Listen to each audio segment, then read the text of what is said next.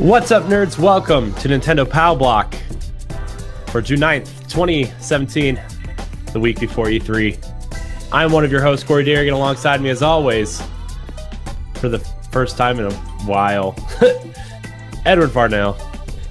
I'm back, everybody. E3's next. Nom nom nom nom nom. I'm just like for the first time. I'm like I'm the co-host. I meant that we're back in the first time for the first time in a while. In a while. I think Hello, we missed- everybody. Missed like three recordings, and I'm just like, I feel really bad because E3 is coming up, and I'm just like, uh, so much work to do and so much work. Really, Yes. it's, really just work. And plus, there Ah. wasn't a lot of Nintendo news and so some discussions. Well, But there yes, was, there was, there was some, but then we we compiled a bunch that we get to talk about today that happened over Yes. the last couple weeks. Um, Yes, and definitely what happened Tuesday. yeah, yeah, the Pokemon Direct happened on Tuesday, which was interesting. I'm I'm gonna leave it at interesting. Uh, although I am excited to have have uh, Pokken on Switch. I'm I didn't play much of that game, but I feel like Switch uh, will allow me to play that game a little bit more than I was intending when it came to Wii U. Yes. Uh, but it also ruins one of my E3 predictions of you know them announcing Smash Brothers because you're not going to put out two fighting games in the same hol- like the same time frame. So, uh, right. I think that gives them a little bit more time though to polish and add to Smash Brothers for Switch. I think that's going to be their next fall game next year. So, the but- next port, say, I or mm, you should say. I don't even know. I mean, see- I, I think it's going to be. I do think it's going to be a port. I think it's going to be a Mario Kart situation. I think they are going to add levels and I- uh, I think characters and stuff, and maybe trophies and stuff. I'm gonna give it to 220 uh or 2020 before we see the next uh Smash Brothers. I don't think they're going to port that over to Switch. I just No, don't. I do. I totally think they are. I totally think they're gonna they're gonna port as many Switch things over or as many Wii U things over to Switch as they possibly can without being Mhm. desperate. No, because I think because of uh uh anomaly, um 3DS and Wii U, I think because that came out and both of them did strong. I think at this time, if I was going to do a, next Smash game, I will wait for my new handheld to come out so I could recoup that same business plan that I did with 3DS and Wii U. If I'm Nintendo, I'm thinking just I'm trying to think business wise as Nintendo. Because most of the ports that they brought out are Wii U ports. Well, none of those games actually came out to 3DS. Now, Yoshi 3D World, uh, Yoshi uh, Island, you know, or Yoshi's Woolly World, that's something else because that was a Wii U game that got ported to 3DS. Yeah. Yeah. That and that at least added some kind of, I mean, what of a downgrade, but it added a new amiibo and some other new things. Yeah, I have my Poochy know. amiibo sitting over there on my shelf with the rest of them. Yeah, I have mine still in my box with the game. Ah, I open all my amiibo. I don't care. I'm never getting rid of them. Uh, my amiibos are still packed up. Oh man, Ed, you're killing me. Hey, I still got my Ganondorf amiibo. You know how that could go. So I'm just saying. Yeah, yeah. Oh man. Um, I do apologize if I sound a little hoarse or if I start coughing during the show. I've been sick too the last like week. Just like not like super sick, but just like that annoying sniffly nose, headache, raspy voice type sick, and I'm just like, Ugh. so That's the ch- the change of the weather sickness. Yeah, yeah, but I don't know. It's just annoying. Uh so I do apologize if you catch me coughing on on the show. I'll try to mute myself as best I can uh when that happens. But uh Ed, I know we just talked on Monday. Ed Ed is our featured guest on NGR Radio proper for Monday's show. So Uh, but Ed, what have you been playing this past week and three weeks? um, so uh, let me start off with PlayStation. Um, I did not go to Xbox, and then I go to 3DS.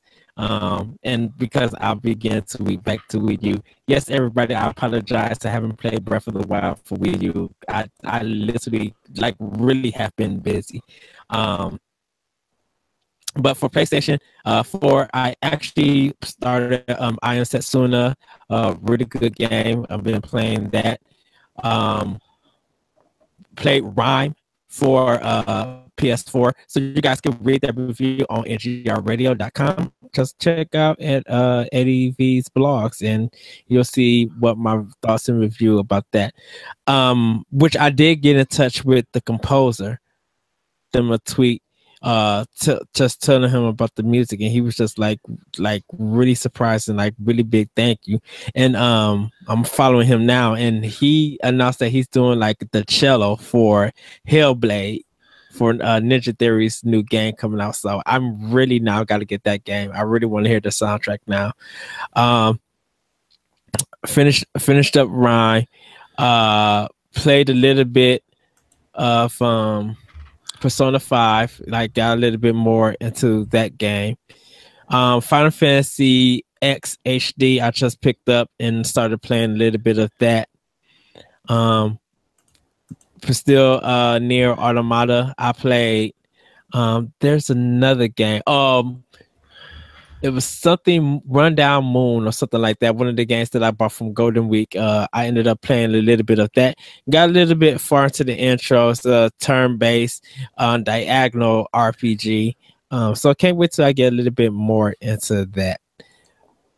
At, uh, other than that, Xbox One, Ghost Recon Wildlands, I I'm still playing, just picking up some of the skill points and in documents, you know, trying to get, 100 get that stuff done. Um, Ikaruga, I played actually with a two player online. Uh, have fun with that. Uh, I haven't started Phantom Dust HD just yet, but I plan on getting into that soon also. Um, I am, playing Dishonored 2 for my optional opinion uh, backlog bash blowout for this uh, month. So, if anyone who wants to play June 7th through June 20th, um, I will be playing that game for Xbox One. Um, and I'm going to be doing a journal for that. So, you guys will be able to read my thoughts about that game. Um, I'm truly enjoying that one. I'm enjoying that one on Xbox One. Um, de Blob 2 also playing, and for uh, now I'm jumping into 3DS. Um, Dragon Quest 8 I started up and man, just such a good game. Um, I did beat that on PS2, but uh, I want to play the 3DS version. Um, even though I still need to do Dragon Quest 7, but I'll start that at another time. But Dragon Quest 8 is what I'm starting on now. Um, I'll get back into Pokemon soon. Uh, uh Pokemon Sun because I'm getting a little bit further into that, grinding up my Pokemon. But that's what I've been playing uh lately. So nice. Oh, and God of War three, uh, uh, HD remaster for PlayStation Four is what I played also. Nice. So nice. Uh, man, what have I been playing? I'm. I don't even know what I've been playing. I jumped back into Horizon a little bit, mm-hmm. and I've completely forgotten how to play that game. So I think I think I'm gonna start over. Uh, I think I'm going to start a new game on Horizon. Uh, to say what you will about you know Nintendo's exclusives, like Horizon is such a good exclusive for PS4 owners. Like yes. that game is just it's amazing to look at and watch and just see everything happen around it. And like the new things they added to photo mode where you can kind of pose Aloy how you want, like, really adds a lot to that game's feature. Like, it's man, I if you own a PS4, like Horizon is definitely PlayStation's best exclusive, hands down, right now. Uh, even going back to like the PS3 games, you know, I just, man, I, I just, I really adore that game. I, I will say, uh, Horizon is PlayStation 4. Like if if you was going to buy a PS4, I would say the three games personally from me or four games, I should say, that you personally need Horizon, Uncharted 4, The Last Guardian, and uh, Persona 5. Rime, I do want to add, but because that's available also on other platforms, that will and it's not that long, you know, that'll be debatable on what you are willing to pay. But having those four games on PlayStation 4 would be a, a must, a must have, I should say. Yeah, I uh I've been really looking for a game to play. I just I don't know. I'm I'm waiting for Splatoon 2 to come out. Like you know, Arms comes out next Friday and I'm really excited yes. for Arms, but like I tried I don't know. Much. Yeah, how did you like it? I didn't get to play um, any of it. I liked it. I really enjoyed it. It it it takes some time to learn. And people were already like masters of the game. So um there might be some control issues at time because you got to try to there's sometimes you just want to act like you with the Joy-Cons being in your hands um for people who are looking at it you kind of got to hold them straight. So i probably got to put them up a little bit. You got to hold them kind of straight. And you know you'll be doing this or you'll curve it to curve it. You'll lean this way to go left and right. Um, sometimes if you lean in together it's to block it um, and there's like other functions like jumping and stuff like that um, it does take some time to get used to uh, i think one of the factors that people are going to have to really deal with is people spamming the throw um, yeah. Because if you can't counter, and if you can't counter, hopefully there's a way to counter people trying to grab you to throw you. People were winning a lot that way by grabbing and throwing and stuff. Um, and yeah. there's sometimes some of the issues on the lock on with the two on two battles, uh, because they don't teach you on how to switch is. So you could be fighting one person just actually be hitting air because you're not on the right target, and while your other opponent is getting hit, both opponent, uh, both of the other opponents and stuff. But overall, it's a really good game. I really do hope it sells. Um, the free updates I am looking forward to. Um, and I think anyone who owns a Switch definitely needs to pick up this game yeah there's there's gonna be people who are gonna turn this game into a fighter i um, think this is i think this is gonna be nintendo's overwatch like i really feel like nintendo owners are gonna get attached to some of these characters and like mm-hmm. really you know we're gonna see the weird fan art. We're gonna see the you know cosplay. We're gonna see all that stuff. And i, I feel like Nintendo could embrace the Overwatch aspect of these characters and like really dive deep into you know releasing these little side stories of these characters like maybe stuff you don't get in the game. But like you know just like a little bit like a little comic strip here a little animation here uh, yes. updates that allow you to see more of the backstory of these characters and you know i think that this i think arms could really take off based on on what the characters provide in terms of like their look, their style. Uh, you know, I mean, we've already seen uh the one character like really take off. What's her name? Like everybody's obsessed with uh, uh Telltale, something like that, or uh, the it's the the fighter that fights with her hair and yeah, has a, uh, interesting physique. That's all I'm gonna leave that at. Twin yeah, I um, think is her it, name. Yeah, I think Twintelle. Um, I will say this. So people who if if you go back and you look at the reactions from the Switch presentation and when they showed off arms, people were just like, we don't care about this. And you know, people were being negative and kind of disgruntled about it. And fair criticism.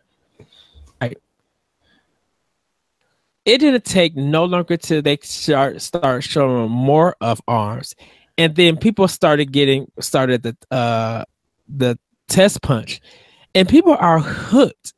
Well, it's so the same thing. Opinions, it's the same oh, thing oh, they ahead, did with. It's the same thing they did with Splatoon, right? Like they showed it off, and everybody was like, "This looks so stupid." And the more like they showed a little bit of Splatoon, and they kept showing more, and then the more people got interested in it, to the point where like it had like a 40% attach rate to the to Wii U and still gets played at tournaments and still gets played you know daily by a huge amount of players to where like Splatoon 2 is going to be this huge hit for them. And I yes. Like I don't know if ARMS is going to have have that much of, of an effect on the Nintendo audience, but it's going to have an impact. And I think that the character like what this does different from Splatoon is that it has the characters with with uh you know personality and design and you know like you know Splatoon as awesome as that game was your characters were Inkling boy and Inkling girl. They didn't have you know names you know you you obviously customize your own Inkling and that's how you played the game. But these characters have personality. They have uh a cool design to each one of them you know so uh, I think that's really where Nintendo is going to shine with the, this game. Yeah, and, I, and over time it's going to grow. I know there are reviews that's coming out for the game, um, and uh, you know everything is justifiable, but I still feel like that this is going to be a hit for Nintendo. And even if it doesn't sell a million, I like the fact of the turnaround that people's perception of this game has uh, that it's been through. It, it's always like when Nintendo reveals a new IP, there's some negative or there's some questions. There might be some positive positivity about it, and Nintendo does a good job of giving time to show off more. And then now, you know, I think because of the global testing for Splatoon, I guess when they do new IPs like that, that's a good thing for people to get their hands on it. Not only to fix any online or bug problems, but to really get give people a better understanding about it. Nintendo is good about doing that to show more of the game and then let you get your hands on and now you are able to make your judgment or your final call on the game if you're going to buy it or not um, definitely when i get a switch i'm definitely buying the game um, it, it's uh I when I seen the trailer, just the two people fighting, and then just seeing how it looks, I'm like Power Stones. I love Power Stones. I want this game. Yeah, yeah, it really gives you it really does give a Power Stone vibe to it mm-hmm. in terms of like the arena and, and how you fight and like or not how you fight, but like where you fight and in the strategy it seems people are trying to figure out. It really has that Power Stone vibe. Mm-hmm. Uh and people yeah, already arms I feel like also like I feel like arms is gonna be that really first hard switch game to find. Like yeah. You know, I like there's going to be a million copies of Zelda. There's going to be a million copies of Splatoon and Mario Kart and Odyssey when it comes out. But you know, there's always that select few Nintendo games that are really hard to find and become really rare in terms of phys- the physical form. Yes. For some reason, I feel like ARMS is going to be that. And people are already loving the music for like it's probably the number one theme music of 2017 that people have been like really like really singing and doing videos of. Like i I've, I've seen more of arms being sung by people than any other game of 2017 and that might just be me. Uh, but people are just like that theme song is catchy and stuff and i actually enjoyed the theme song. I actually love the music of arms. Um, so and i got all of this just from uh uh uh, from the test punch, you know. Yeah. So that that's just good signs that this game is really. I really hope it does be a hit, and I really hope that it does sell at least a million or even five hundred thousand copies. Like I really hope it does do good. Yeah, I think over time it'll do good. I think you know initially, I think a lot of people are gonna. It's one of those wait and see games for a lot of people. Now, I I pre-ordered it because I I'm my goal this generation that I haven't done in a long time is to own a physical copy of every Nintendo published game, yes. even if it sucks. You know, and like, yeah, I'm sure there's going to be a. I'm sure there's going to be one or two like really bad games that Nintendo publishes, but uh, you know, I I really want to own the physical copies of of Nintendo games. Like on previous shows, I said I was going all digital this generation, and I have gone all digital on PlayStation and on Xbox, but there's something about the Nintendo physical copies that you know, growing up is just like you collect Nintendo games. That's just what you do, and like yes.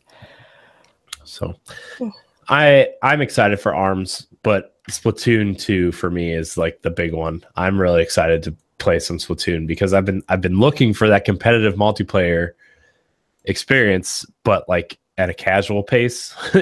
you know, like I hmm. I try playing Halo multiplayer and it's like it's not really what I want. And then I try to play Gears of War multiplayer and that's not really what I want. And then I jump back into Destiny for a little bit and I'm like, why am I doing this right now? Like, de- I I like Destiny a lot, but there's nothing more I can do in that game, really.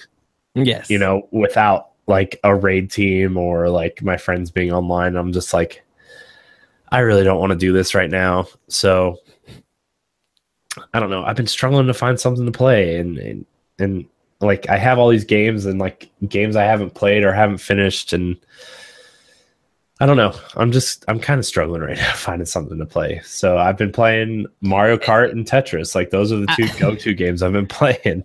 I, I, don't think you're struggling. I I think you're just like, what game am I gonna really commit time to?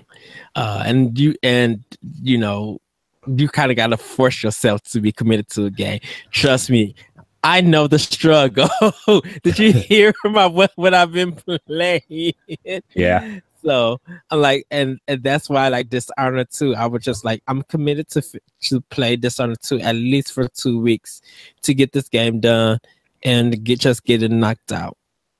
I'm always gonna be jumping around playing different games, but I'm just like, I need to be committed to get this game done. Yeah, yeah, so, it's uh. It, I, I really want to play Zelda is what I really what I want to play. I I I'm I got to jump back in Zelda because I've been seeing some people with all this armor with all these weapons, and I'm be like, I didn't see that, and um, there's probably stuff that uh people got that you don't have, and I'm just like, uh, what is this doing? This is from our Ocarina of Time. What is this doing in this game? Okay, now and it's just motivating me to go back and finish the game, um, just like Metroid Two. but uh, yeah, I need. I know I need to get back into. Yeah, well, I'm gonna get back into Zelda when the uh, DLC comes out this summer, and then you know there's a new amiibo. I gotta, I gotta grind my amiibo for the the fierce deity link, and yes, you know that stuff. So I know I need to buy the season pass. Um, I'll probably do it this weekend yeah. Um, hold on, I gotta I gotta check something. I'll be right back. Hold on. Okay. And I guess we will be right back, everybody. So, um, about the let me give my thoughts out first for the Pokemon Direct. Um, we'll probably be uh rewatching it. Um, so Pokemon Tournament DX or Deluxe is coming out for the Nintendo Switch um, September 22nd. There's also going to be coming out Pokemon Gold and Silver for 3DS. So you'll get both games dropping that day. Um, the Pokemon Sun and Moon, they're doing an alternate version. So Pokemon Ultra, Ultra Sun and Pokemon Ultra Moon. That's coming out November 17th for 3DS. And it's an alternative take on Pokemon, like I said, Sun and Moon. So there'll be different characters and different stories. Um, you can watch the eight, seven, eight minute video on YouTube on Nintendo's uh, YouTube channel and I enjoy all of it. Like I cannot wait to play Pokken again. Uh, and I really definitely when they announced gold and silver for 3DS, I'm definitely getting. Uh, I kind of want both. I'm thinking I'm I'm getting both. Uh, see how the price is going to be for that. Um, probably like nine or probably like ten dollars each, like uh Pokemon Red and Blue was. Sun and Moon, I'm definitely buying both. Uh, because uh, me and Corey was talking earlier about Poke, uh, Pokemon, and I love the Pokemon games, and I believe them being on uh, a handheld for me, allows me to play the game at a leisure pace. You know, I'm able to enjoy this game. Don't have to worry about graphics. Don't have to worry about updates or, um, you know, installations and stuff like that. I literally could just pop in the game, grind to waste some time, you know, get some time down, and then go and battle, do whatever I need to do and explore. I like that from my Pokemon games. And and good for people who wanted that game on Switch. Poke, the Pokemon company Nintendo has told people always that those games just don't fit on the, on their console. Um, some people don't believe that, but like for me, I do. Um, and I, I was telling Corey that the Pokemon Company, Game Freak, and Nintendo they make too much money of Pokemon the main games on on uh handheld than they do on console because they would have to do a whole like the way that Pokemon is designed. I don't think that would fit on a console like a regular RPG. Reason being, if you look at games like uh not Monster Hunter, uh it was like some monster kind of generator. Um if if you look at uh um not not the Disgaea or anything like that because that use a different format for its combat but like something that does a versus and yang it, it, just does something different and that doesn't fit on switch on that more small scale definitely when you know what pokemon in this gameplay and this design all offers and welcome back corey What's happening? um, I I was just this guy uh, discussing with the people who are watching live um, my thoughts about the Pokemon Direct. Oh. Uh, so, gotcha. Well, I guess we can kind of move into that.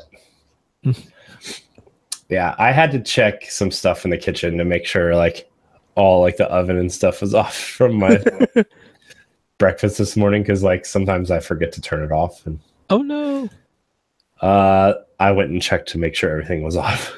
so, my bad. Ah, uh, man. All right. So, there's a lot to talk about, and we're going to talk about the Pokemon Direct that happened on Tuesday. It was a small direct, but kind of an important direct in terms of you know Nintendo is is keeping the 3DS alive, you know, like Mm-hmm. So uh, let's get the announcements out of the way. They they announced Pokken Tournament DX for Nintendo Switch, uh, releasing September 22nd, which I'm pretty excited for. Uh, but yes. they also announced Ultra Sun and Ultra Moon for 3DS, which is uh, kind of think of it as like Black and White 2. I guess like it's a second yes. adventure in the same area uh, new Pokemon, uh, new evolutions, stuff like that. So, uh, what do you think of this, Ed? What do you think of the the Pokemon Direct? Um, and uh, Pokemon Gold and Silver is coming out on the 22nd for 3DS Virtual Console. Um, I enjoyed it. I loved it. I like the uh, I like the um, the intro that they used, like the trailer uh, with the guy uh traveling around and doing playing Pokemon uh, I I'm glad that they did. I I glad that they are bringing Pokemon to the Switch. Um, not many people said that they played it on Wii U, so this gives them a good opportunity. And plus, they're adding new characters, and they're probably going to be balancing some things.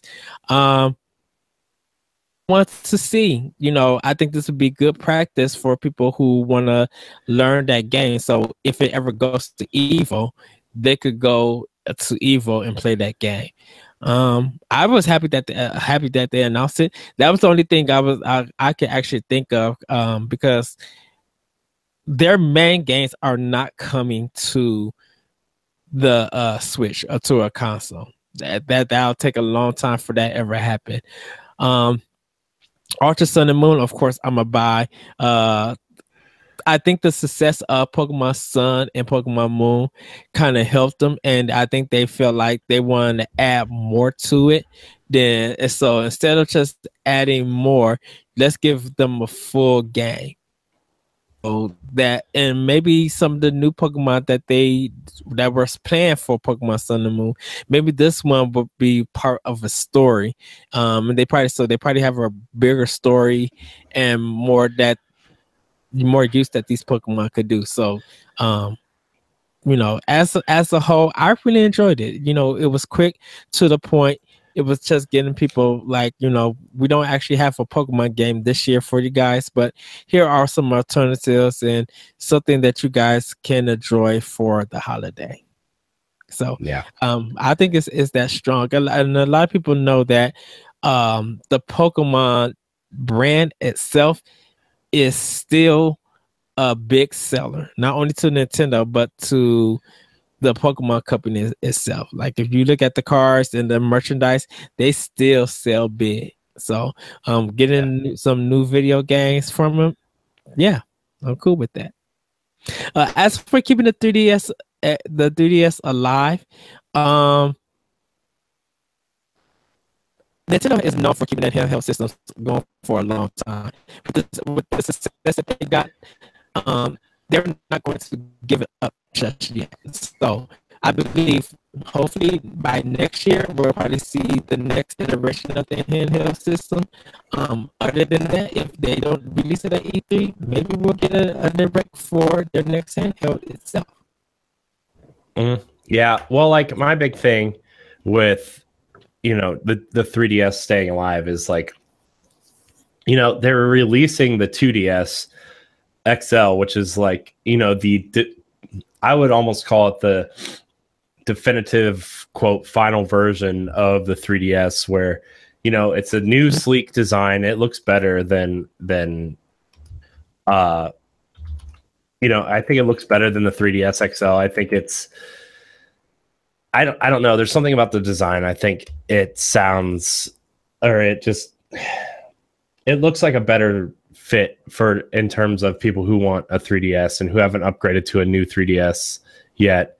So like, you know, you're releasing this updated version of this handheld and you want people to be excited to go buy it to upgrade. And you know, Ultra Sun and Moon will give people a reason to go buy this thing this fall. And you know, yeah, we're getting uh Ever Oasis this summer. We're getting Hey Pikmin, you know, uh we're getting a lot of good 3DS content at least through this year now. Like, you know, I didn't know it was going to come to 3DS after the summer, but you know, we have all these Atlus uh, RPGs coming now, and you know, the 3DS is going to be an RPG machine, and that's going to be great.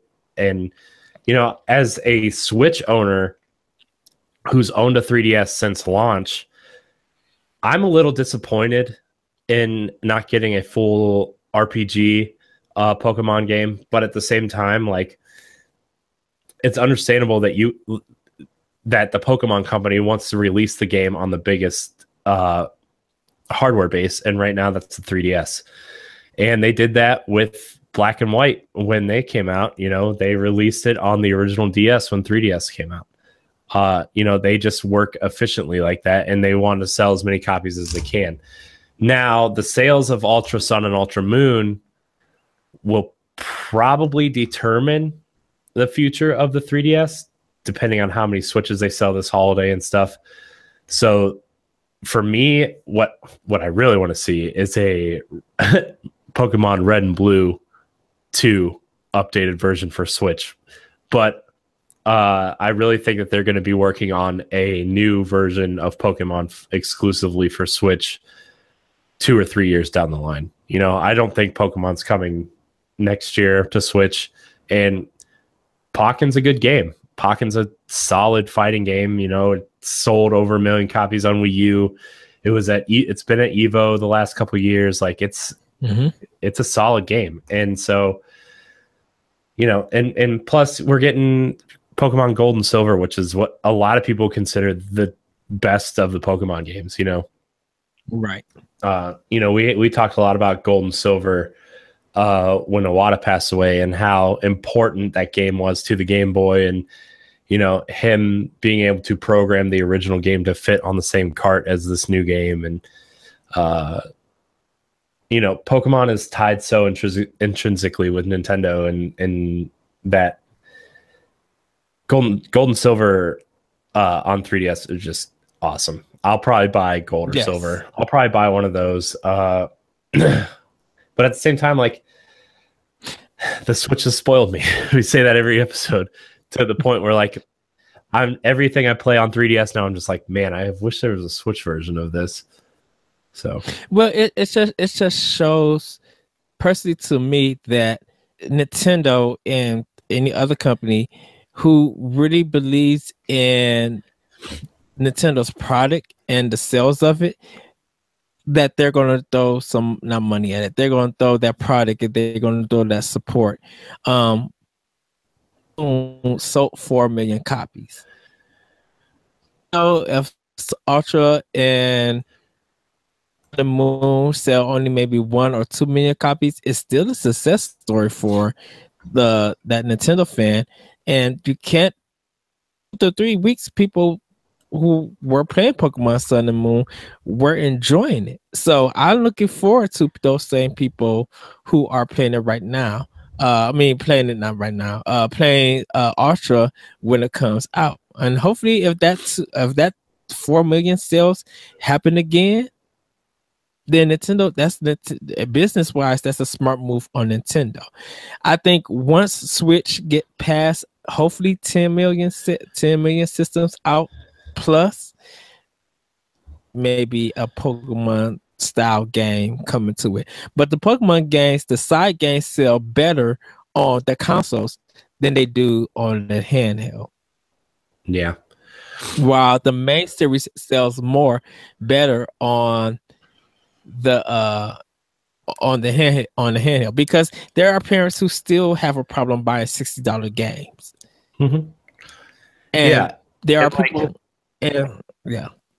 Oh well, to your point on on parents having trouble buying 50 60 dollar games for their kids and like you know people don't also don't want to shell out three hundred dollars for a system for their kids either. Like I think the new 2DS accompanied by these Pokemon games are are just that. Like these are for the parents who want to buy their kids something that's more than just handing them their phone every five seconds. And uh, you know, Pokemon Sun and Moon sold very well for Nintendo. That's sold almost 14 million copies to date.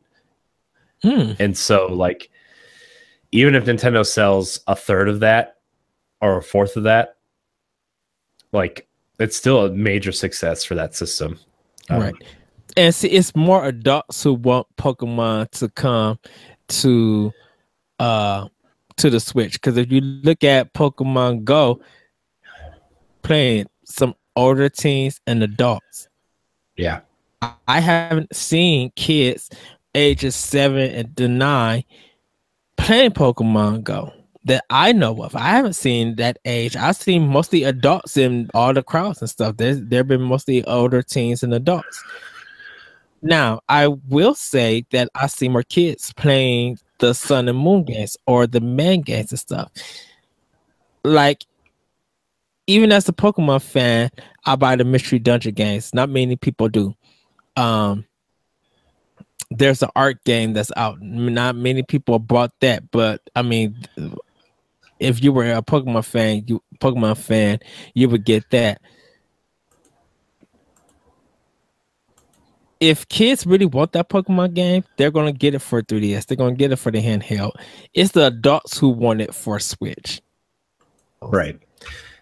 And that's, I mean, I think that's why I want Pokemon on Switch is because, like, I don't know. I like that device a lot, and I'm an adult that wants to play Pokemon. So, Right. uh, but um, because like I, I had this I had Oh. this really interesting uh experience when I went on vacation, you know, at the beginning of May, and my cousin was playing 3DS and he played Switch too, but he doesn't really care about like graphics and the technology because he's 6 you Mhm. know, like yes. you give someone that like anybody under the age of 10 a 3ds they're going to be excited that they just get to play with something you know and like Right.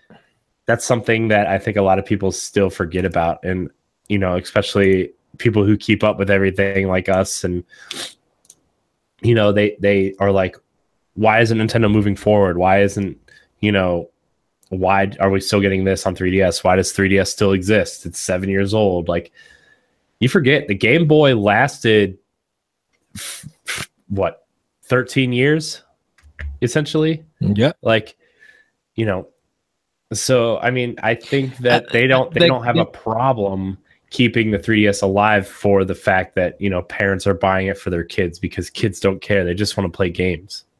Right. You got to think the game boy name alone has been has has probably been one of the longest um probably fr- not franchises handhelds effort you got game boy you got color you got advance you got sp it's still under the game boy uh name, whether you want to say events or not. They didn't switch it to DS to almost what 2004, 2005. Name going from starting slowly to out to millions, and now the 3DS is doing the same thing.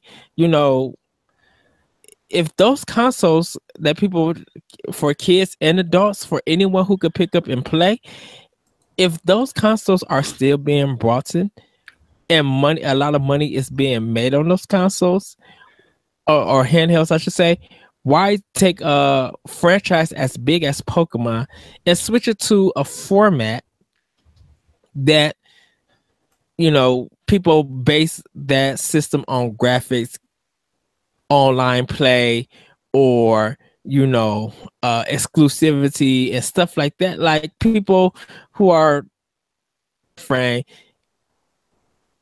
if they're all about console systems like that pokemon to me personally doesn't fit that.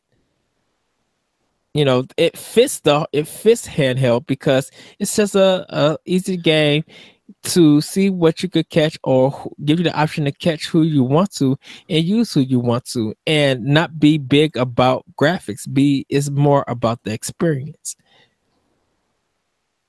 Yeah. And sometimes consoles don't give you that same thing that handheld could give you. You know, yeah. if if if you want Pokemon Sun on Switch, do you want that same limited gameplay that that game offers, on a console just because it's a Pokemon game. Yeah. Well, people will want to want to expect more from them. Well, they can't give you more because Pokemon game. If they go out of that, then it's not a Pokemon game no more. It's a Final Fantasy style RPG cutscene, long, long game. Yeah. yeah. And, it, and it, that to me personally, it loses that appeal if it ever goes into console. Yeah, I I agree with you. I think if they're going to do it for console, they need to look at it as, you know, I think they need to look at it in terms of like not give it the breath of the wild treatment, but like mm-hmm. look at it, look at that game and and look, Switch is a hybrid console, right? We need yes. to give people the experience of it fits the same as you know, it fits well as a portable as well as gives you the experience you want on console. And Breath of the Wild, you know, even though it was a a, Wii U game first, it still had that distinction of, you know, I can play this in handheld mode and grind through some shrines or look for Korok seeds, or I can plug it into my TV and have this big wide open adventure and go tackle these big tasks. Like Breath of the Wild did that so well, and it's it's going to be interesting to see how not only Nintendo internally and not only the Pokemon company, but the industry as a whole, because there are though they're small rumors and and stuff, but you know there is a small rumor that was brought up on the Game Informer show about two weeks ago that Sony is looking into creating a Switch like device, and Microsoft on a release, like a, a survey, asked how many of you are working are looking to buy a Switch in the next 12 months. Would you be interested in an Xbox style thing? Like that was on their survey. There are images out there that ask that question. And so like now you have to look at how the industry is going to adapt on what Nintendo has created. You know, they've created this device that everybody wants. And like well, it's it, and it, it's that's been a uh, go ahead, Greg, Well, before I I, was- my answer I was- because I could I could explain to it. Well, I was just gonna wrap it around back to Pokemon and is like if you're gonna make a Pokemon game for Switch, you need to make sure you take everything into consideration instead of just the handheld portion because that's why Pokemon's so popular. It's a you can accomplish something in five minutes. You can hang out with your friends and trade across a Wi-Fi or ad hoc or whatever. You Mhm. can do all these things that are super easy in portable mode. But how are they gonna how are they gonna animate gym battles on the TV? How are they gonna animate these giant important things that you know you don't really get a lot on the portable version? Like there's gonna be a lot more effort and a lot more production put into a Switch version. Uh, and I think you know people are disappointed now. It's it's the Zelda thing. People are disappointed now that they're not getting Pokemon on Switch but they're going to be a lot happier with the result once they do because there's going to be a lot more time effort and thought put into you know the story the animations the the creatures you know all these things you're going to probably be able to do a, a mass effect maybe not to that extreme but like a mass effect style character creation like people are going to be really happy with that stuff Right. Well, uh, uh, because I don't know if we got another topic to move on. Can I address the Microsoft and Sony part? yeah Um, Microsoft and Sony, they look at Nintendo's success and they want to copy that success because they think of business. So we need to jump on it.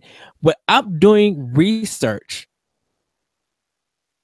Xbox, uh, the Kinect really wasn't a research, and the Move really wasn't a research because we sold so well, and the marketing for that system was so done so well they figured they could do that same thing. And if they could do that same thing and not say do it better, but do it to a point where um it's bigger, they gonna do they're gonna do that.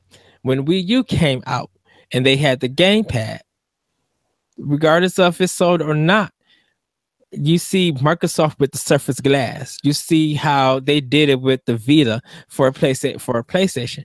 So they were trying to copy off Nintendo because once again, that idea had some business success, regardless of how you see it. 13 million systems, that's to me personally, that's still good. If you don't sell a system at all, that's a problem. yeah yeah I- Sony and Microsoft. Oh, I agree. I think uh before we move on, just a last Yes. point on like I really feel like if Xbox did one, I wouldn't care just because like most of their games play better on TV anyway, like you know, a Halo match or a Gears of War campaign or something like that. Mhm. Like those those just the way that box is set up is in the games that they are putting out are just more of a it's more of a TV experience. But in terms of of the games that I play on my PlayStation, I wouldn't mind having a handheld PlayStation 4 that, you know, just play digital games to play a game like Horizon on the couch while I'm sitting next to my wife watching TV or you know, I wouldn't mind grinding a little bit in Destiny or I wouldn't mind, you know, playing some of these experiences like uh you know even journey or something like you know some of these smaller experiences would fit really well in a handheld form i just Mhm. don't know how they're going to if if if sony did something like that or microsoft to play xbox one or ps4 games like i don't know how they would make that con- that like compact of a of a machine and make it cheap enough for people to want one. Well, the thing about it is, how do they market something to make it feel like a different experience mm-hmm. that you can't get on? Okay, just because you got Switch and you got 3DS, they both offer you two different experiences. You can say mm-hmm. yes for the games, but the thing about it is, guess what? I can't take my controllers off my 3DS and hand it to somebody. Yeah, meet you physically sometimes or play online, whatever the game is, and we have to battle face to face. With Switch, yeah, I could take a controller and give it to you. Could keep my controllers on, and we could just watch, you know, or you could just sit back and watch me play. I can't watch you play anything on 3DS because it's it's it's a tiny screen. But maybe I want to see your playthrough of Shovel Knight. You know, maybe I want to watch that, and then maybe you can hand me the controller, uh, because I I might, you know, the Joy Cons might be uncomfortable, but that bigger Pro controller that might be that that might help me with the game that offers me a different experience than what the 3DS can do. And Nintendo, not Nintendo, Sony and Microsoft don't know how to market that well. They don't know how to make games or build games in that manner to offer that experience. Mm-hmm. Sony, yes, they had two they had two uh handhelds, but how much support did Sony themselves put into it to offer that experience that's going to be different than what uh, their consoles can?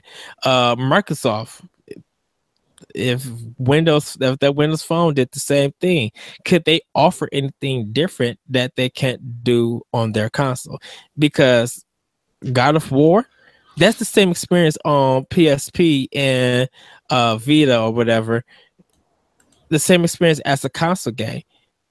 But guess what? If I play Paper Mario on 3DS, Luigi games experiences. Mario Luigi never came to console. Yeah. Experience on on there. Paper Mario was a console exclusive, you know, console ex- experience. So I could play it on there. And it wasn't until uh to when they both met that we both got that experience, that both gameplay ex- experience. But that's only on 3DS. They're not both on the same system. So Nintendo knows how to offer different experiences with their games. Sony and Microsoft don't know how to do that just yet. And if they're going to do that, Sony alone, even if no one else put games on their system, Sony alone would just have to take the would just have to continue support that system with games or ideas that they can't put on console. Yeah. Yeah, I that, I I agree with you. Um and that's something Nintendo's done really well is defining their experiences between their console and handheld. There's been a few times where they said, "Oh, look, we're experimenting with this style of game on 3DS, which is what I still think Metroid Prime Federation Force was an experiment that they didn't uh, have to blow a ton of money on on a you know console like experience you know right. but they wanted to make this multiplayer game and they wanted to see how fans re- would react to this style of game and you know i still I still personally think Metroid Prime Federation Force was a decent game. Like I still really like that game. It was just really hard because they didn't balance it for single player versus multiplayer. Yeah. Uh, but I did. I do think that that is a good idea, and I do think that that that sort of game will eventually come to Switch because they. I think they are looking for a cooperative first person style game to get that audience in the door to switch uh, because uh, that that style game opens a door to a new audience and nintendo's looking for everybody they can to buy a switch and you know everybody is buying a switch i talked to a lot of people where i work who haven't owned a nintendo console since n64 or gamecube and they're like oh yeah switch looks really cool i can't wait to play all these games on And i'm like well you've you've kind of missed missed a lot of stuff in between that. But and, okay, and, sure. People, people, Sony and Microsoft got to be aware of thinking the Switch is a complementary to their system. No, it's still competition because guess what? People are, if people start buying more games on Switch, your activity use on your PlayStation, on, on your Microsoft, if it comes to a survey poll, it's going to show how many people are playing actually on your system, on that system and how many people are playing on your competitor system. Yeah. Switch doesn't complement the Switch doesn't complement um PlayStation because that just makes everybody who want those games on PlayStation to come to Switch. And if that happens, your system is going to become irrelevant. Why would I want a PlayStation 4 if that game is coming to Switch and I could take that full experience with me on the go? So Yeah. they need to be they need to be aware of that. So I'm Yeah. just saying that's me. So, What's our next topic? Um, things. Um, Yay. Let me, pull- let me pull it up here. Uh, yeah. So our next topic is um. Oh, okay. So this is this is gonna be a quick one because I know how you feel about it. Uh, Nintendo Switch players who bought NBA Playgrounds early, and I think this still applies until their big patch comes out for online play. Oh, the Shaq Fu thing. Yeah.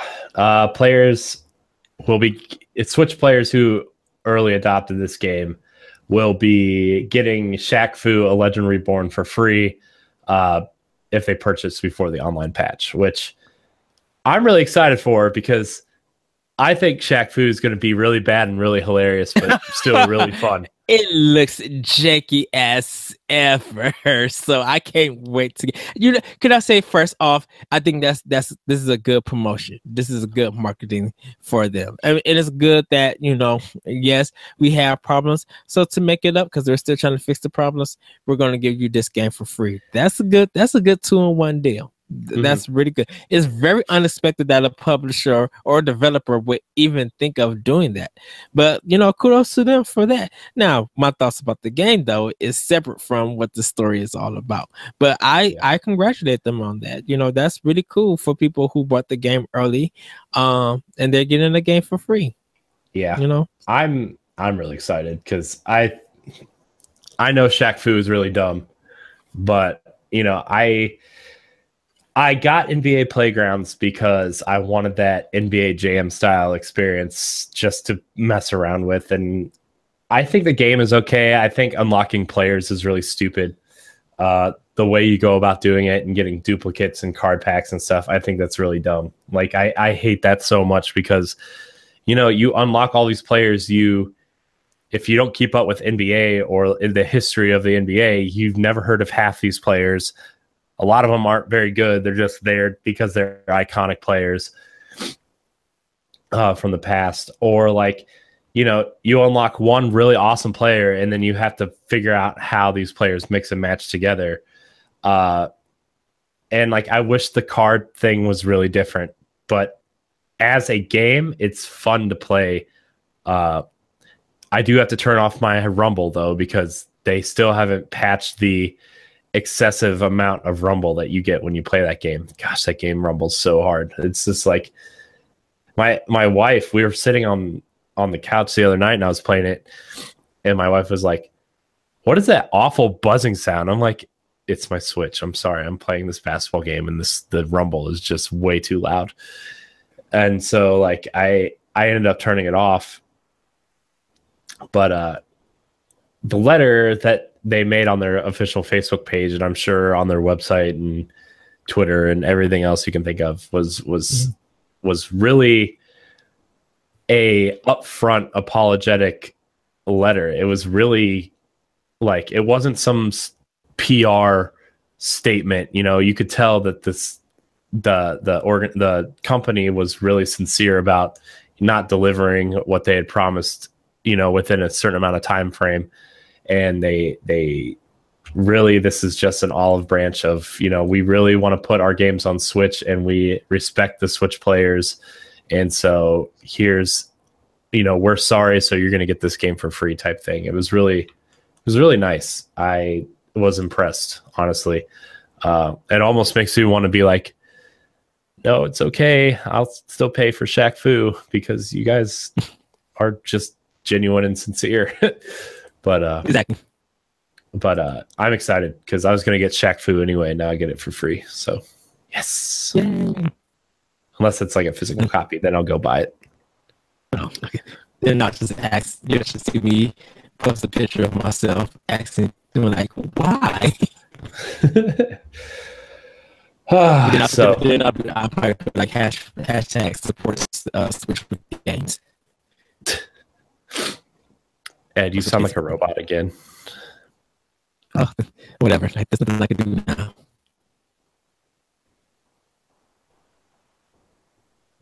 So what's the next topic? Um.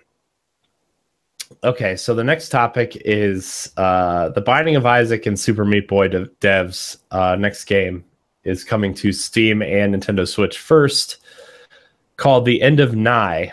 The End is Nigh is a platformer where people, where players take control of an internet streamer, Ash, who survived the end of the world. Uh, along your journey, you will collect video game cartridges and tumors across 12 plus explorable chapters and over 600 levels. Uh, it's a pretty large game. It's uh, pretty exciting. I I like Super Meat Boy a lot. I'm still not sure how I feel about the Binding of Isaac, uh, but I know Matt really loves the Binding of Isaac. So, uh, and and I'm not saying that it's a bad game. I just I'm not into those types of games, really. But to see them go back to making a platformer is really exciting. Yeah, I looked at this trailer and uh, Yeah, I'm I'm not impressed. I'm like from from reading the description that it was and then seeing what the game was about, I'm like, uh no. I'm like you guys really got lazy and really thought and really think that well some people gonna buy it. That's fine. Um I I just think their creativity is there no more. I think they just really just got lazy. Felt like they needed to make some some levels that look like that and use their expertise with with some Super Meat Boy and just make that kind of game. Just like uh, you guys don't have enough money or a budget to. I, I don't know. It's me, and I don't want to hate, but um, uh, my criticism is just that this is a been there, done that kind of game, and it looks like they're not track record, but it looks like their philosophy is that kind of solid game, and they don't know how to put, evolve from that. yeah. So, Yeah. Uh, within the game, uh, if you you could collect uh, the 20 plus cartridges, they all have their own mini games uh, attached to them. So after you beat this game, if you have any interest in keep playing, uh, they have the mini games there too. So um, I don't know. I don't know if I'm going to get it. I'm excited Switch is getting more indie support, and that game Mhm. will appeal to a lot of people who are fans of those games. So, um, I don't know. I would rather spend my money on this next game. Sonic Mania is officially coming on August 15th, and it's going to be $20 across all platforms, including the Switch, uh, which is exciting. Yay. No, no Switch tax, uh, as we will get into later. Uh, but to be fair, the Switch tax doesn't really bother me. You know, the quote ten dollars more it doesn't really bother me because, like, right. I don't know if you are worried about ten dollars on a game on a system that you know you may or may not own. Maybe you should not be playing video games and putting your money somewhere else if you're worried And- about ten dollars. And guess what, people? If you buy a game digitally on the Nintendo or Microsoft platform, in some states, even Sony's platform, you got to pay tax. So your digital game is not going to be at that price. So get used to it. You're not going to be paying 19.99. You're probably going to be paying like 23 some dollars, depending on what state you in for that tax. Yeah, Like I do it for my Xbox One and the Nintendo consoles. I pay the tax. So ten dollars more, that's no big deal. No big deal. yeah. So what? Yeah. Um, I'm excited for Sonic Mania though. I I really played a lot of Sonic 1 and 2 when I was little and this kind of this is to probably be what a lot of Sonic fans want in terms of a Sonic game. Like I don't really care for the 3D games that much. I I tried with Sonic Lost World on Wii U and I tried with uh, Sonic Boom. And like I think the 3DS games got a little bit they were a little bit better than the Wii U games, but I just I don't know. I don't really care about Sonic as a game character anymore. Uh, but Sonic Mania looks interesting in terms of nostal- from a nostalgic standpoint, in the fact that Sonic or Sega did what I think Nintendo should do and go out and find a company and a person to lead a team to make the game that fans want. You know, I think Sega was really smart in doing that. And so they're making the game that they want and that fans want. Uh, so Nintendo, take notes. take notes from Sega. Right. Sega does what Nintendo don't. Am I right? Am I right? Exactly. You're right. Oh, but uh, yeah, Sonic Mania looks cool. I will probably end up getting it because it looks cool. Sonic Forces, probably not, but Sonic Mania looks good. Yeah. Which I think they'll probably show more of at E3, hopefully. Yeah. Sonic Forces. Yeah. Um, okay, so the next game really excites me. Square Enix announces their next project from Tokyo RPG Factory, which is coming to Switch called The Lost Sphere. Um, yes. Really excited for this. I am waiting for my imported version of I Am Setsuna for Switch uh, to show up. And I really like the what this studio was opened for. The studio was created to specifically appeal to the Super Nintendo, maybe early PS1 era RPG enthusiast. Mm-hmm.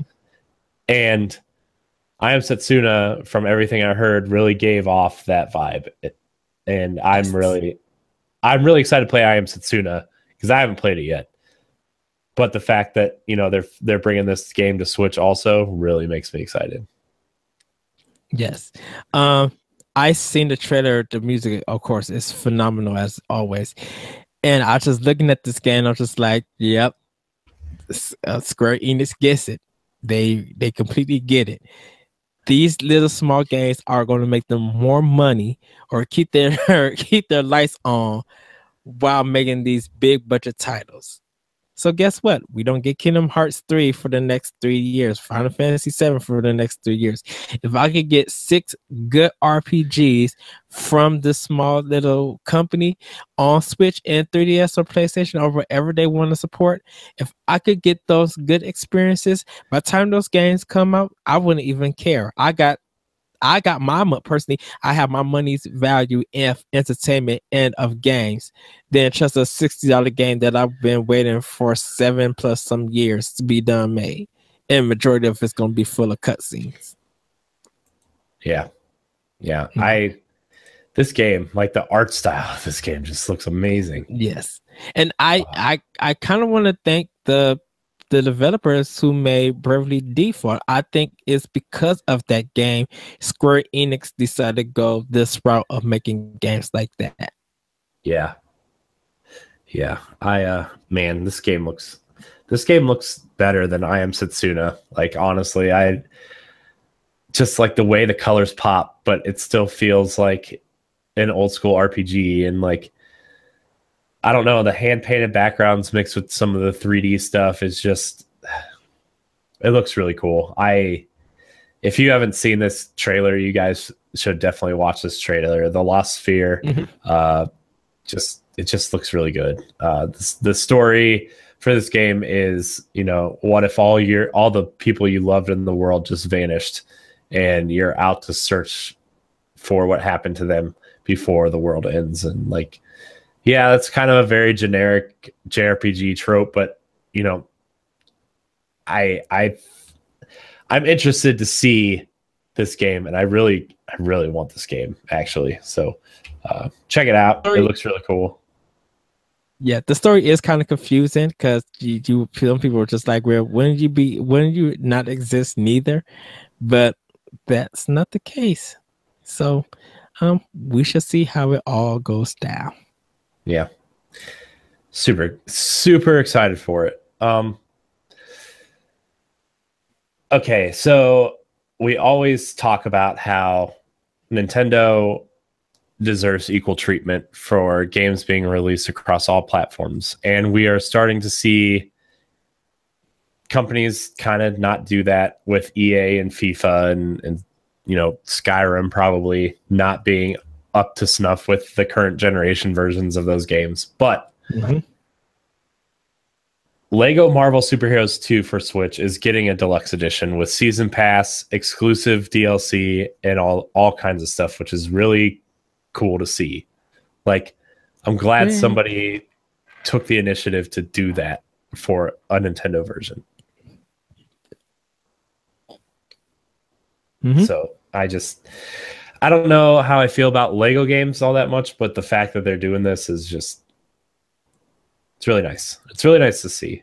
Um, they, they sell they like I said, they sell too much on the Nintendo platform to to shortchange. Yeah. And I know NBA 2K is doing the same thing. They're get Nintendo Switch is getting the deluxe versions of that game too, uh, mm-hmm. which I'm really excited about.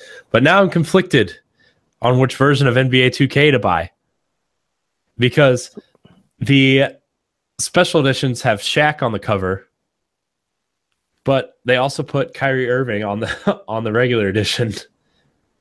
And as and as a Cavs fan, I'm torn. As a Cavs fan, you're gonna go with the other version. Shaq. I'm like, really, Shaq? Oh, he's on the cover for no, just it's gonna be NBA 2K. People who have the Switch version are gonna be trying to be over their friend's house and playing them so they could talk smack in front of their face. yeah. So, um, but uh, can I address the thing real quick? Yeah. Uh,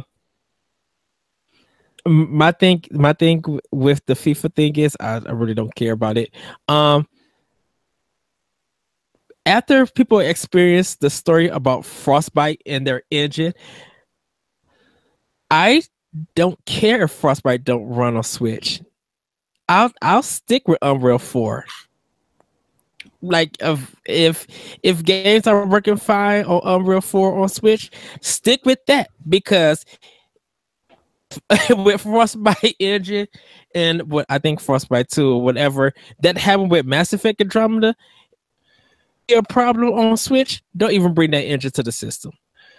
Go ahead and give me 360 versions of that game. Because guess what? It's gonna sell out on on Switch. Yeah. And if people really want FIFA, they'll just buy it on Xbox One. Yeah. Yeah, I don't I don't really care a lot about FIFA either. I I know it's missing features, but it's the features that like as a fan as a casual fan of the series, I don't really care about. Like I enjoy playing a good soccer match with someone like couch like couch uh, competitive like someone comes over, I throw them a controller and we play like that's what I like about FIFA. I don't care about mm-hmm them trying to tell a story in their story campaign mode. I think that's dumb in sports games. Like, I don't care. And that's like that's the big feature that's missing. I think is the the story campaign mode where you uh, lead not your created character, but a character from like I don't know somebody that they made up, and you watch this character grow through the ranks of of the soccer leagues or whatever. Right. So I don't personally care about that. And like, I will probably buy FIFA for Switch to have a soccer game on the platform. Uh, but it's FIFA's not one of those games I go out and need to buy every year. You know, I think the last FIFA game I owned was the Wii U version uh, uh-huh. of 13. So, uh, yeah. So, like, in, in terms of missing features and stuff, I could care less. And like, if if we already knew Frostbite can't run on Switch, like we already knew that. So I don't understand why people were throwing a fit when they said FIFA wasn't running on Frostbite for Switch. It's like we knew that engine doesn't run on Switch anyway. because they're thinking that if Frostbite was able to run on Switch, we'll get their other games and stuff. Guess what? Even if Battlefield One did sell, nobody really didn't care about that game. Folks that I talked to which just like, yeah, I gave up on that game two days after I got done playing it. Yeah, like I think that I think the big games that people expect to maybe come to Switch would be like the Star Wars games because there's going to be a lot of casual crossover there. Uh, but mm-hmm. even then, like Battlefront Two, like I don't care if that comes to Switch. I'm going to play it on my TV. Like I I'm gonna play it on my PS4 probably. You know, I I right. I would expect something like Lego Star Wars to come to Switch, or maybe a an offshoot game specifically for Switch. But in terms of these, like, because Battlefront is built on the Battlefield in like engine straight up, like no alterations to the Frostbite engine or anything. Like it's right. It's basically Battlefield in space. So if that game wasn't coming to Switch, like I I don't care. And like if right. FIFA is based off their old engine, who cares? It does it play like FIFA? Does it look like FIFA? Does it feel like FIFA? Then what do you what do you care what engine it's on? So because they feel like they're, they're charging sixty dollars for this old ported ported game, it should at least be on the same level as the other two games. So uh, I mean, it is it is what it is, but uh, I I prefer their EA originals to be on Switch than something like Battle Battlefield or Battlefront 2. Like, I'm like, you have problems with your first game. Let's see how. Let's see what you do when the reviews come out. Because I will wait for the reviews to come out for uh, Battlefront 2 uh, I would rather see the reviews and see if they learned their lesson because big talk and showing off can always be good, but when the game releases and there's problems with it, what was all that hubbub marketing talk for? Yeah, yeah. I don't know. I'm I'm still I'm gonna get FIFA for Switch if EA decides to bring anything else over. Great. Uh,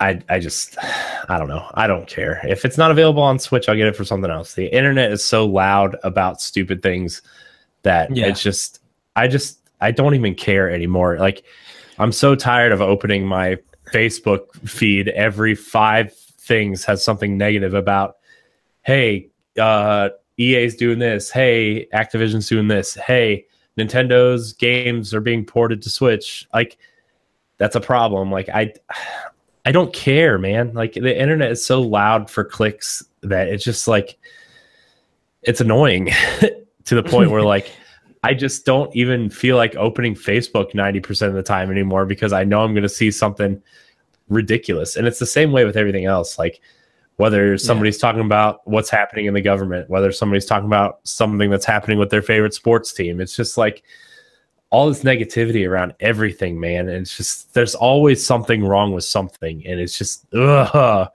Just there's shut gonna. Be, there's gonna be voiced opinions, and you just can't. There's gonna be people who want you to agree with their opinion, and some people who want to argue about your opinion. It is what it is. That's the internet. Um, but I will say this. Guess what, EA? Nintendo has a strong lineup of games coming out this fall with Indie for fall and winter. So guess what? People are still going to be supporting Switch and buying games on the system. Yeah, like and going to be enjoying it. And if they talk about that game more, if they talk about the game, it is what it is. Yeah, like I mean, Nintendo has the strongest lineup. This this like starting at the beginning of the year, like Nintendo has the strongest lineup we've seen in years, and a consistent, the strong consistency of its lineup. You know, Mario Kart Eight, right.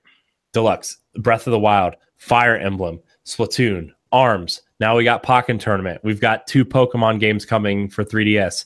You know, you've got Hey Pikmin, we've got Ever Oasis, we've got Mario Odyssey, Fire Emblem Warriors. Like, I still don't know if Xenoblade Chronicles 2, but that's soon. Like, you know, and then heading into next year, I'm still guessing Xenoblade Chronicles 2 is going to be their March game next year uh, for a US release at least. So we're going to have, like, next year, we're going to have Fire Emblem proper. We're going to have uh, Xenoblade 2 probably going to have some sort of smash next year probably like there's Nintendo's been so smart through 2017 and into 2018 mm-hmm. with major releases for their platform. Like third party isn't going to matter for Nintendo because they have so many first party whether they're ports or not, whether they're you know new games or not. Like you can't deny how strong their lineups have been for these consoles you know, even though Sony and Microsoft kind of had a strong first 2016, we're still waiting on okay, what you guys are going to do. Uh, 2017, I'm sorry. What you what are you guys going to do for the rest of the year, even with third party support? Because the only game from Microsoft that I could think of that I want, like I always said, has been Cuphead. Pretty much for PlayStation 4, the only game that I'm looking forward to is Detroit Become Human, if that comes out. Other than that, I pretty much, unless there's a sale going on. Oh, and Final Fantasy 12 HD, but that comes out next month. Besides those two games on PlayStation 4, nothing else from third party excites me that I care about. Royal Hellblade on Ninja Theory. Gosh, um, Hellblade looks so good. Like you know, I love I love Ninja Theory so much. Like, yeah, and and that's why I would and that's why I would buy that game. I, I know I was talking about the composer um, but like Ninja Theory, they make some really good games. Uh, mm-hmm. well, the debatable. Uh, but I would support them. I, I'm like, you guys made Devil DMC, and you guys made that game one of the best Devil May Cry games I ever played. Yeah, so I'm like, all for supporting Ninja Theory. Like D- Ninja Theory's games, like are debatable whether you like them or not. But you can't right. deny that their vision for their games and their heart that they pour into their games is is debatable. Like their heart is just pouring out into their games, and that's why right. I support a company like Ninja Theory. And I am so excited. I'm so excited for Hellblade. Like I didn't really care for Enslaved, but I love DMC, and I've really enjoyed what I played of uh, Heavenly Sword, which is really sad that that mm-hmm. game, that game's not getting a sequel. I'm that game was that game was a really good launch window game for PS3 that nobody played because PS3 was six million dollars. But yeah, Ninja Theory is just. Uh. I think Heavenly Sword probably just needs a new developer. I think what they were trying to do is they were trying to show off all the features that the PlayStation 3 was able to give off. And I think Ninja Theory just they just didn't have it right. Don't forget, this was their first game. This was their debut game. We never heard of Ninja Theory until Heavenly Sword. So yeah, they didn't get it right. But you know, Enslaved was a good game. DMC was a really good game. And hopefully Hellblade is a terrific game, like, you know, for them stepping out on their own. And I would like to see more games from them because I feel like yeah, they're on the verge of being like platinum, or but I'm like something about Ninja Theory speaks their individuality, and that's what I like about them. That's what I like yeah. about that game. Like if I heard be like, yeah, they're making a Mario beat 'em up game, and Ninja Theory is making it. Let me go find game. Let me go to GameStop and pre-order the game right there. Like, yeah. shoot, I'm down for if they do that. Yeah. It could be so silly and it could be broken as ever. Ninja Theory is producing, uh, developing it. Yeah, let me go. Yeah, uh, I I am really upset that that game isn't getting a physical copy though, because I would I would buy the physical copy of that game just because. Oh, for uh, of Hellblade. Yeah. Oh, I thought they were.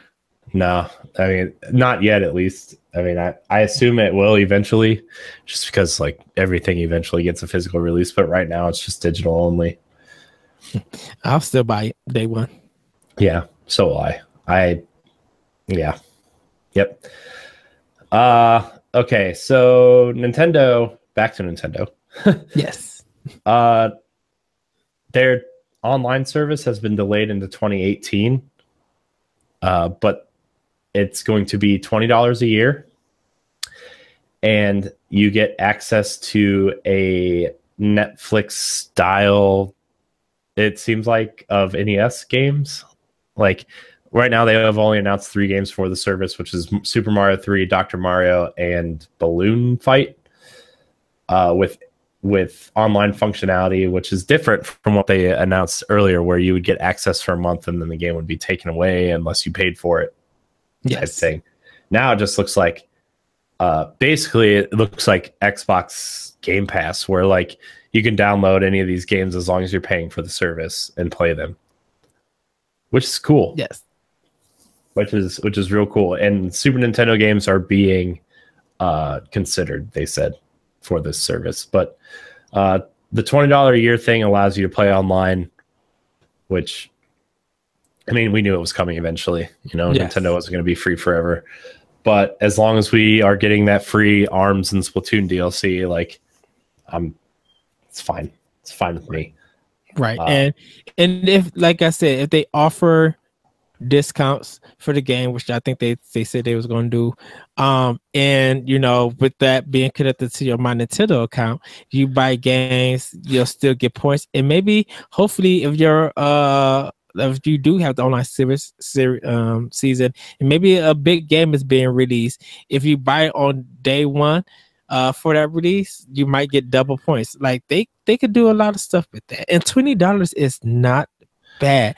You pay $20 for some season pass to a game you know nothing about. Let me rephrase that. You paid $40 season pa- for a season pass that was just some costumes aka batman arkham knight.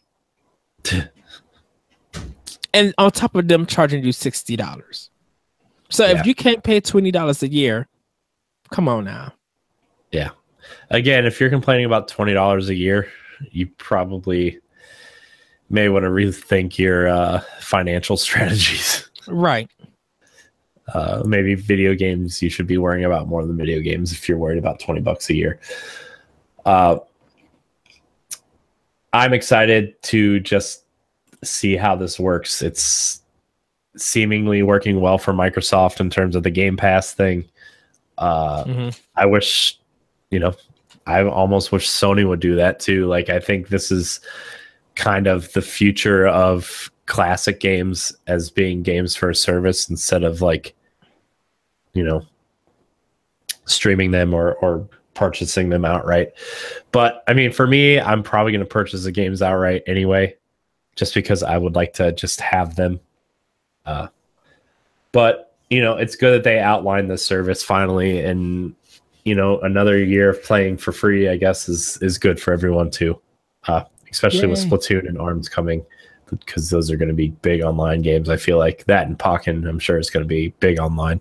So, yes uh, all right. So the last thing I kind of want to get to is uh, Japan earlier last month announced a bunch of cool Splatoon 2 accessories, uh, cases, and that cool Pro controller and the Joy Cons and stuff.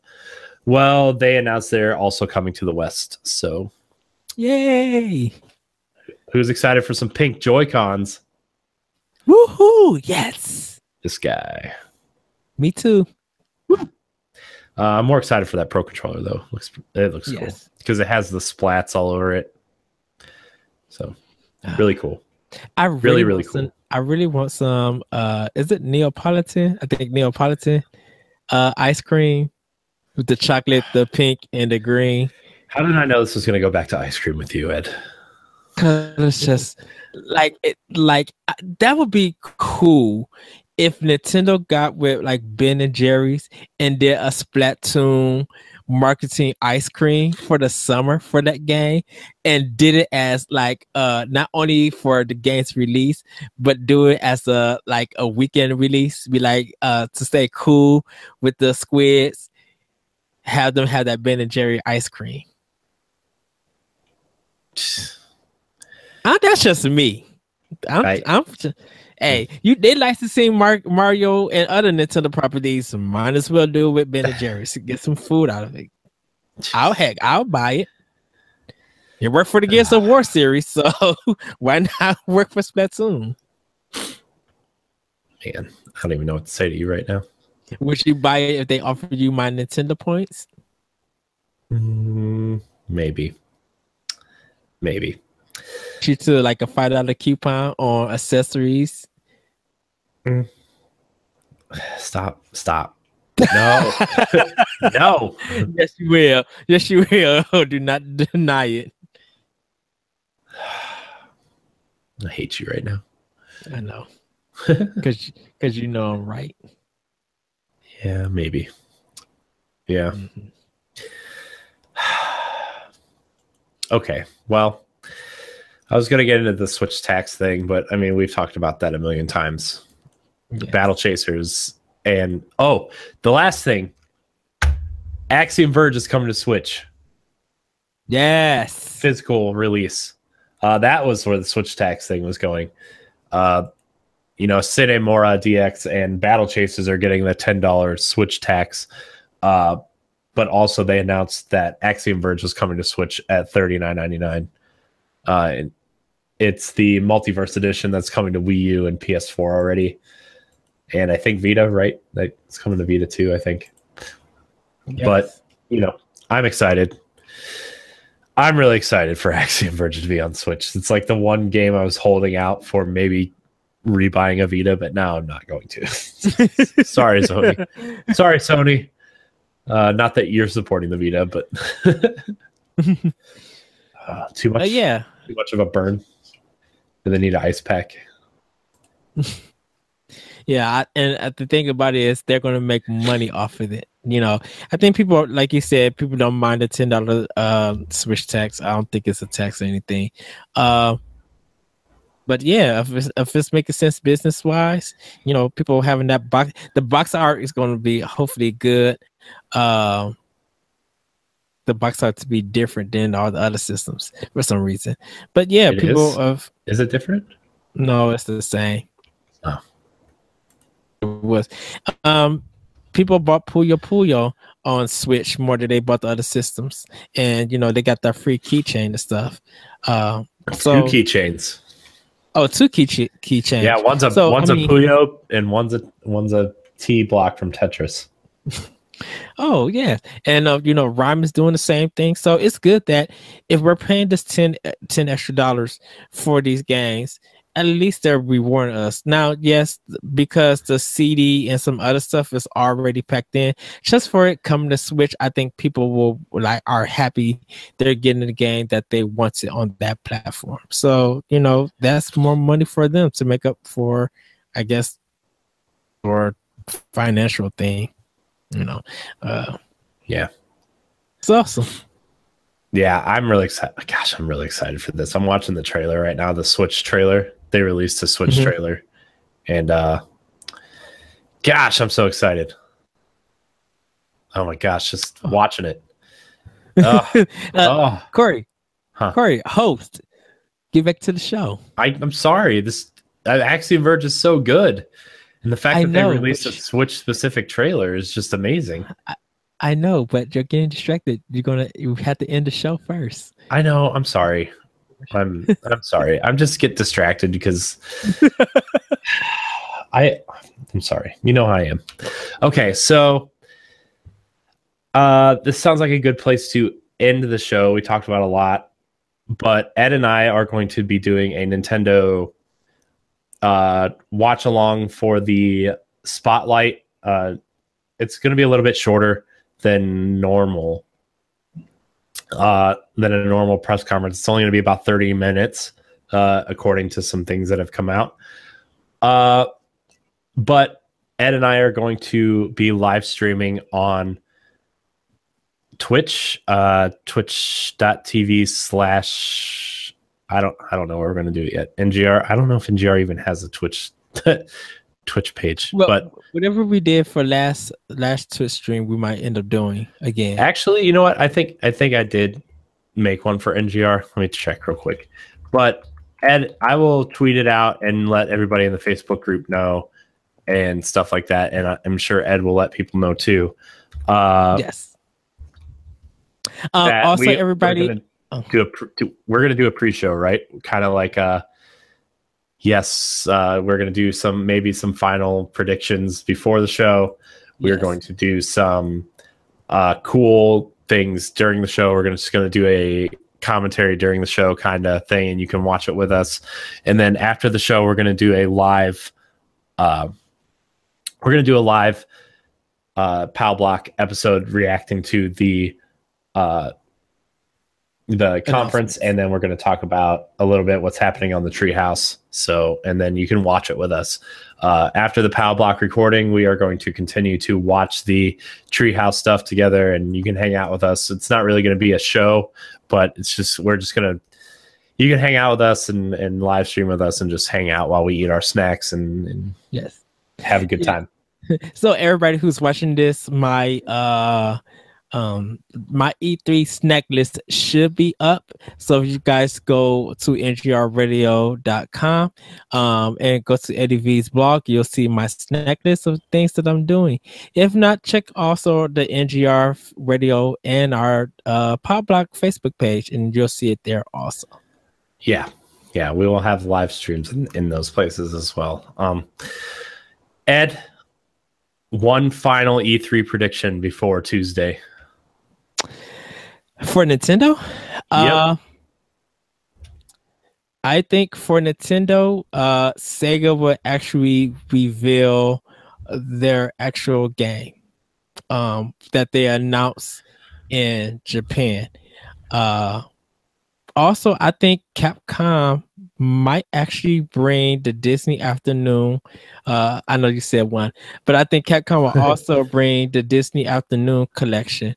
Uh, the first one. I know they're not bringing the second one, but I think they'll probably bring the first one to Switch also. Mm.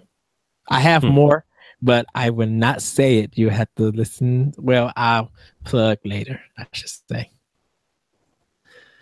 I know. Man, I I still think they're going to tease a Metroid game.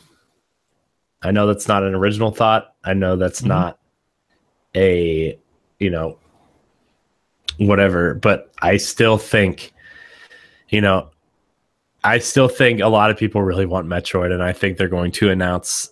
I, I think they're just going to show a Metroid logo Yeah. and that's it. I don't I don't know if it's going to be the title of the game or not. I think they're just going to show just the word Metroid, and I think people are just going to freak out. yeah. And I know they're focusing on twenty eight or twenty seventeen games, but that doesn't mean they can't tease what's coming in twenty eighteen. So, um, yeah. So, Ed, Oh. what? Yes. What'd you do? What's happening? Uh, I just want Platinum to bring Bayonetta 3 and Vanquish 2 to Switch. Can they just can they just port Bayonetta two over and then tease us with Bayonetta three? Thanks, that'd be great. Thanks, Platinum, for doing that for us. Breaking news: Platinum is bringing their whole library to Switch. Oh shoot! Good luck and God bless. Good luck and God bless with that one. Because if they Oh, if they do if they do, I'm probably going to freak out. Oh, that means I, I need to go shopping. I need to go. I need to find me a Nintendo shirt. I probably got to go to Hot Topic or something. Uh, I want to have a my Nintendo shirt for uh Tuesday. Yeah, I I need to find something too. I need to make some layouts. Okay, so if you if you want to follow us, we are going to be live streaming from twitch.tv slash ngr radio. Uh, so come follow us there and you know you can watch us live stream some stuff. It'll be fun. It'll be a good time. Yeah. I gotta make some I need to make an overlay. I need to make a cool ah man, I gotta make some stuff. I gotta make some stuff for this live stream. This is very important, Edward. Very important. I know. Do do do do do do do do do do do do do do do. Oh, Well, Ed, I love the overworld music for Mario Bros. 3. Oh, sorry. where can we find you? You guys can find me on Twitter at that's retro code. You can also hear my podcast Optional Opinion on SoundCloud, iTunes, Google Play, on the Anomalous Radio Network.podbean.com, and other podcast apps. Also, check out my other podcast, World 101 Podcast at shoutengine.com. Follow us also on Twitter at World One underscore one podcast. We just had a discussion with the designers and the creators of Shovel Knight from Yacht Club Games. Do check out that episode. Literally funny, so in depth. We laugh and you talking about having some like nerds on a podcast or just like real gamers.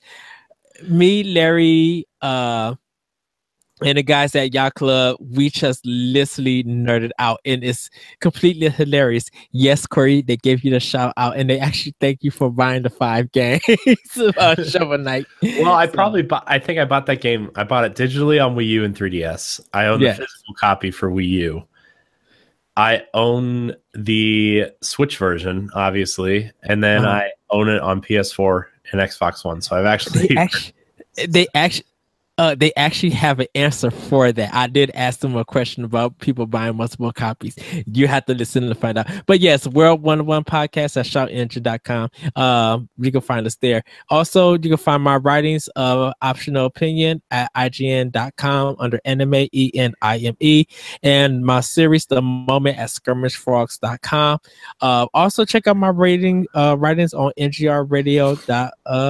So you guys can check out the Ghost Recon Wildland the Rime uh, reviews, and I'll be doing some E3 prediction blogs coming soon. And I will also be doing my uh backlog uh bash blowout for optional opinion uh on some of the ngr radios. Um doing my journaling right there. Um so do check that out. And like i said check out the snack list that i'll be posting up there also. Um join our nintendo POW Block facebook page where you guys can interact with us. Um and the ngr radio facebook page. You know we want to hear what you guys think about nintendo and other video games and stuff. And check out the lyrical one on twitch. Um that's my let's learn series series that you guys could also check out. So yeah, you can find me on there. Nice. Nice. Ed's everywhere. Yes. Well, you can find me at Corey and HD on Instagram, Corey Hudson and HD on Twitter. You can find this show every Tuesday and Friday, I guess. So I'm trying. I'm sorry that we haven't had an episode in a couple weeks or a couple days. I don't know how long is that? Like ten days. Uh, you yes. can also find me on NGR Radio uh, podcast, where Ed was on the show on this coming Monday's episode, right? Yeah. Um, yes. I'm sorry. I just I have so much crap in me right now that it's just like, uh, you can find all of our shows on ngrradio.com and on our YouTube page at NGR Radio come subscribe. We've gained a couple subscribers this week. I'm really proud that we've we are growing slowly but steadily. Uh, so let's see what else. Uh, you can join the Facebook group and all that. What Ed said already. Uh, we're gonna try to grow the POW Block Facebook group. I know I've been saying that for a couple, like a month now, but uh, we're really gonna try to to grow this show's as big as NGR Radio proper. Uh, I'm really proud of what Ed and I do here. So uh, thanks thanks for listening and, and watching and putting up with our uh, tangents off the topics that we bring. so, um, Ed, I love you, and fans, thank you so much for watching and or listening. And until next week, live, we're out. Woohoo!